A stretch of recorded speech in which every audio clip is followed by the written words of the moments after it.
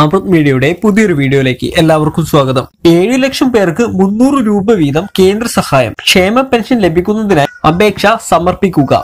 ഏറ്റവും പുതിയ അറിയിപ്പ് പൊതുജനങ്ങൾ അറിഞ്ഞിരിക്കേണ്ട ഏറ്റവും പ്രധാനപ്പെട്ട വിവരങ്ങളിലേക്ക്. അപ്പോൾ എല്ലാവരും ആദ്യം തന്നെ ഈ ഒരു വീഡിയോ ലൈക്ക് ചെയ്തു വെക്കുക.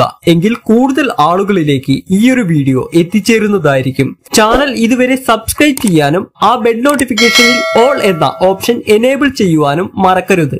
സംസ്ഥാനത്ത് കൂടുതൽ വ്യക്തികൾക്ക് സാമൂഹ്യ പെൻഷൻ നൽകുന്നതിനായി തീരുമാനങ്ങൾ വന്നിരിക്കുകയാണ്. ഇന്ദിരാഗാന്ധി ദേശീയ വാർദ്ധക്യകാല പെൻഷൻ ഇന്ദിരാഗാന്ധി ദേശീയ വിധവ പെൻഷൻ എന്നിവ നൽകുവാൻ കേന്ദ്രം തീരുമാനിച്ചിരിക്കുകയാണ്.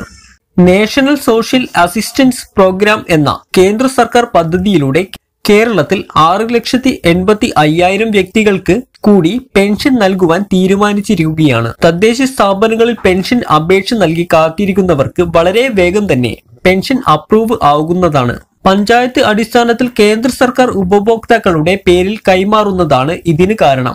അറുപത് വയസ്സ് മുതൽ എഴുപത്തി ഒൻപത് വയസ്സ് വരെയുള്ള വ്യക്തികൾക്കാണ് ഈ ഒരു പെൻഷൻ ലഭിക്കുക. എൺപത് വയസ്സിന് മുകളിലുള്ള വ്യക്തികൾക്ക് സ്പെഷ്യൽ പെൻഷൻ ലഭിക്കുന്നതാണ്.